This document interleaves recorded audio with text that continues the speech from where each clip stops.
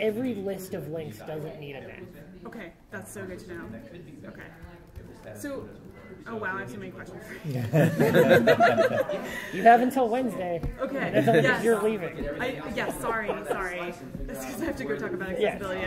and- So it's a good reason. Yeah, um, yeah, like um, in terms of misuse of article, I'm I'm one of those people who ha- like I wring my hands over like is this an article or is this a section? Yeah. Um, is it an article or section? Please say words about that. So,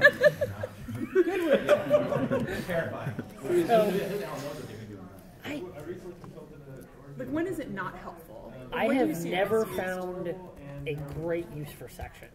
Okay. Um, other people may have. The the place that I have seen article be useful is um, take Facebook for example. If every story was wrapped